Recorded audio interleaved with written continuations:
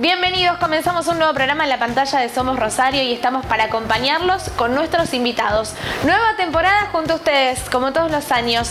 Vamos a hablar hoy de teatro. Vuelven las actividades en distintos lugares de la ciudad, en distintos escenarios y es la oportunidad del Teatro El Rayo. Hablamos de teatro independiente, de esos artistas que tienen la posibilidad de reencontrarse con su público. Estamos con Aldo El Jatib, él nos va a contar cómo es iniciarse nuevamente, tuvieron que esperar mucho meses para reactivar la actividad y finalmente lograron hacerlo. Tienen tres obras de teatro en cartel, así que vamos a hablar con él para que nos cuente todos los detalles el regreso del teatro presencial en Rosario.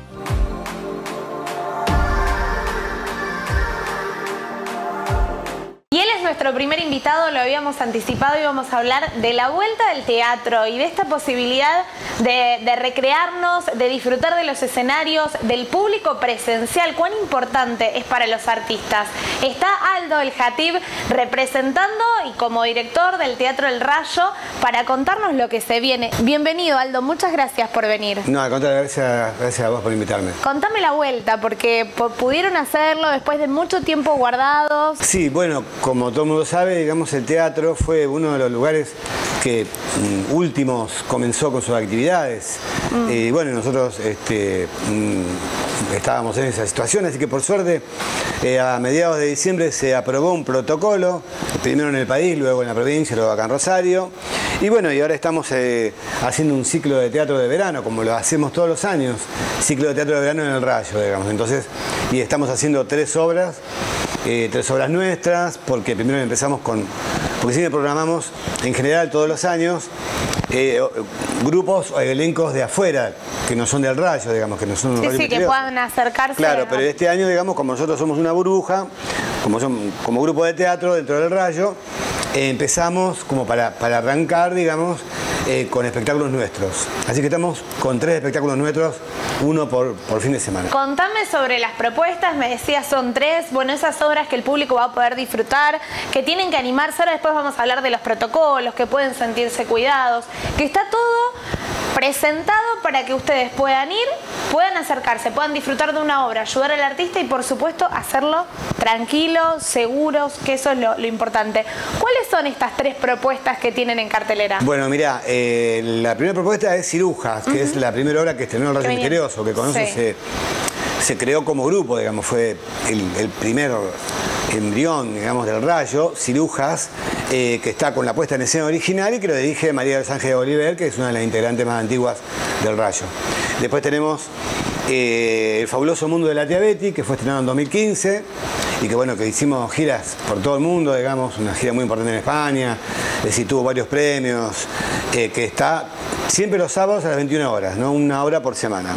Y después tenemos también La Orden del Dragón, que es el último espectáculo que hemos producido en el Rayo. Y que dirigís, además. Sí, claro. Yo dirijo eh, El fabuloso mundo de la tía Betty y La Orden del Dragón. ¿Cómo es hacer teatro en un momento como este? ¿Y cuán necesario era para el público eh, volver a ver eh, a los artistas en escena? Mira, yo creo que había de las dos partes, las ganas que teníamos nosotros de, de hacer algo, de empezar a movernos, es decir, hacer un espectáculo o ensayar.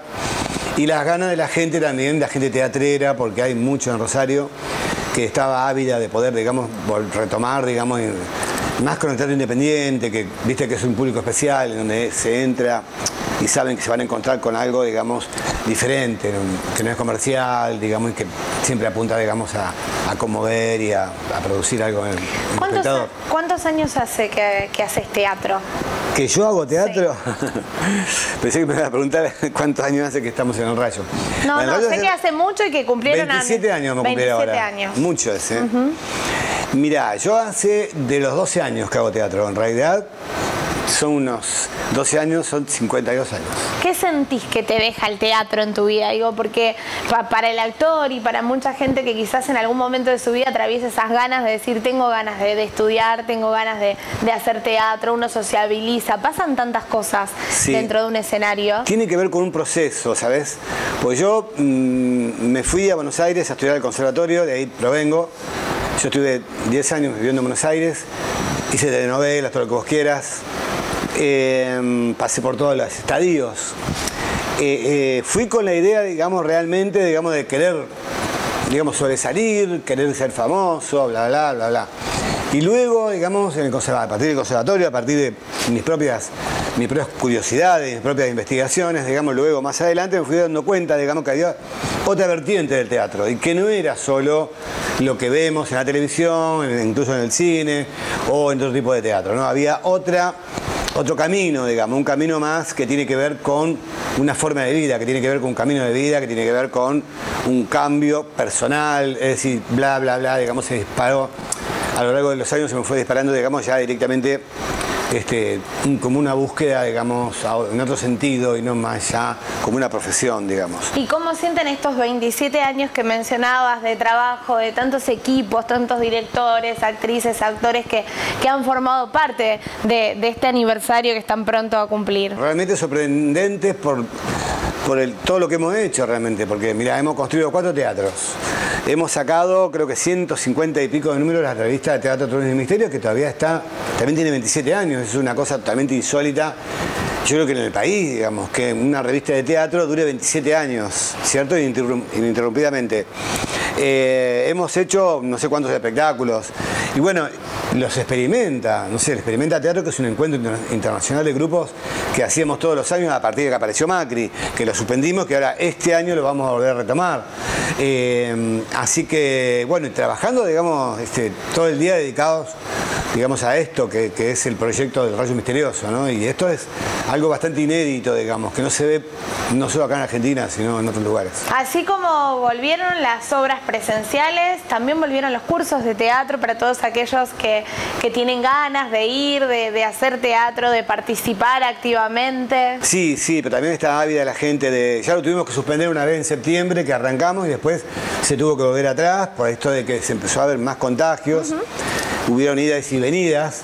Pero bueno, ahora que está un poco más aliviado y que los protocolos lo permiten, este, hemos abierto la inscripción, así que está la inscripción abierta, digamos, eh, dura enero, eh, febrero y marzo, enero, febrero y marzo el curso, así que todavía pueden inscribirse. ¿Cuánto tenemos que, valorar el teatro local y el esfuerzo ¿no? que, se hace para mantener un teatro en pie como, como este que mantienen ustedes? Tiene que haber, digamos, una, claridad en el sentido de, trocar, digamos, el estar, de, tener una seguridad eh, económica, digamos, cambiar eso a sentir que uno está haciendo lo que verdaderamente quiere hacer. O sea, buscar un equilibrio en realidad. A veces cambiar una cosa por la otra, pero en este caso lo que tiene bueno es buscar un equilibrio, ¿no? Entre la seguridad personal, el querer tener eh, cosas, digamos, y el hecho de estar haciendo, ¿cierto? Todo el esfuerzo que uno hace y toda la energía que uno, que uno gasta, digamos, es para hacer que uno, algo que uno verdaderamente quiere. Digamos, eso es lo que me parece a mí, digamos, que es lo que nosotros intentamos hacer. Aldo, ¿se animaron al streaming teniendo en cuenta que hay muchos eh, grupos, elencos que, decidieron mostrar de una forma diferente, adaptándose a las nuevas tecnologías? ¿Se animaron a hacer algo por streaming o no? Nosotros en principio no estamos de acuerdo, pero no por una cuestión ideológica, decía, a ver, por supuesto que los demás, que cada uno haga lo que le parece que cree que sea, digamos, pero nuestra investigación está fundada en la relación entre el espectador y el, actor, digamos. Y esto tiene que ver con el espacio y tiene que ver con ese campo magnético, digamos, que esos dos campos magnéticos que se encuentran, digamos, en una sala de teatro, digamos, y que se produce algo que no se produce en ninguna otra arte, para decirlo de alguna manera.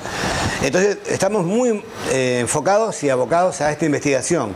Entonces, por eso hemos preferido tomar distancia con eso y, ¿cierto? esperar, esperar a que, digamos, podamos volver a retomar lo que nosotros creemos que es el teatro. ¿Qué escribieron durante la pandemia? Porque uno fue encontrándose y fue eh, tomando distintas, distintas alternativas como para llegar a, objetivos que quizás tenía inconclusos, como por ejemplo, no sé, escribir parte de, lo que venían trabajando ya hace Mira, tiempo. los primeros dos meses no podíamos ni vernos porque fue este que estábamos todos encerrados, digamos. Lo único que yo me quedé con mi, con mi pareja este, encerrados ahí, entonces yo vivo cerca de la sala, entonces íbamos a la sala a jugar al fútbol, entonces le enseñé a cabecear, le enseñé a dar pases, viste que la chica que nunca juega al fútbol, nosotros jugamos al fútbol, tenemos como un entrenamiento, jugar al fútbol dentro del grupo y jugamos, las chicas y varones mezclados. Entonces, algunas chicas nunca habían jugado y fueron aprendiendo. Entonces, aproveché los primeros dos meses en enseñarle a cabecear, viste que tenían miedo como a, pegar a la pelota y a dar pases. Esos fueron los primeros dos meses. Después, cuando pudimos eh, empezar a encontrarnos, que se empezó a permitir, digamos, hacer trabajo de oficina, digamos, de administración, ahí decidimos eh, editar, digamos, eh, el primer tomo de, las obras dramáticas del Rayo. Porque pensábamos hacerlo este año, no el año pasado. Entonces decidimos que era lo único que podíamos hacer y, editamos, adelantar trabajo. Editamos el, Obras Dramáticas Tomo 1 se llama, donde está publicado litófagas, cirujas, mus, ram y Máquina Napoli. Son las primeras cinco obras que hizo el Rayo.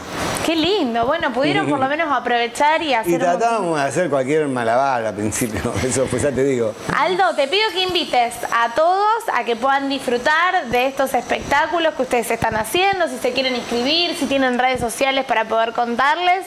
Y bueno, desde ya que cuentan con el apoyo y la difusión de cada una de las obras, porque siempre lo hacemos con artistas de acá, de Rosario, para contar esas propuestas culturales que tienen para el público. Así que esa es tu cámara, contales, invítalo. Bueno, los sábados a las 21 horas se van a encontrar con cada semana un espectáculo diferente. Este fin de semana está Cirujas. Las entradas por protocolo tienen que eh, sacarse antes. Este, eh, pueden, estar, pueden ir al teatro o hacerlo por, por transferencia. Eh, ya muy pocas, ya porque es muy limitado el, aforo, digamos. y la otra semana va a estar la Orden del Dragón y la otra, el fabuloso mundo de la tía Betty. Así que los sábados a las 21 horas estamos ahí en la sala. Te agradecemos muchísimo, bueno, que sigan los éxitos, que, que puedan seguir disfrutando y haciendo esto tan lindo, que nosotros también como espectadores, si nos cuidamos, podemos ayudar a que esto siga funcionando y que la rueda siga girando. Así que gracias, Aldo. Bueno, gracias a ustedes. nosotros seguimos con más en la pantalla de Somos Rosario.